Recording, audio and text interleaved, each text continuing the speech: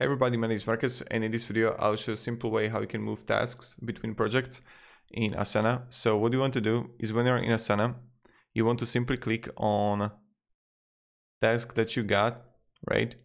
And then you're gonna see the three dots here and add to another project.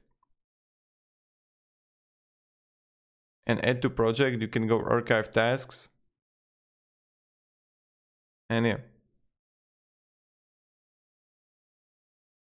When I'm going to be here, I can see it right here and I can simply move it or do whatever I want.